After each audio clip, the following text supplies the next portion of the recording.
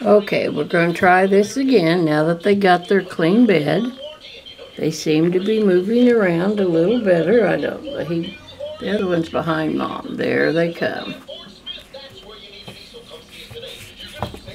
Oops, it's going to run a little bit.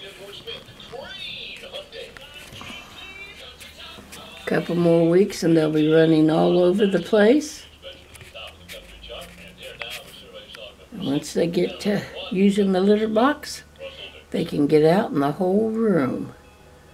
But right now, they gotta stay in here. They haven't, they weren't interested in food yet.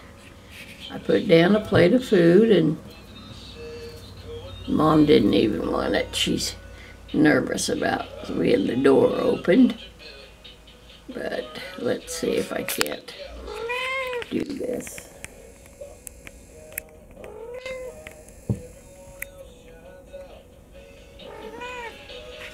These are both beautiful little girls. Beautiful little girls.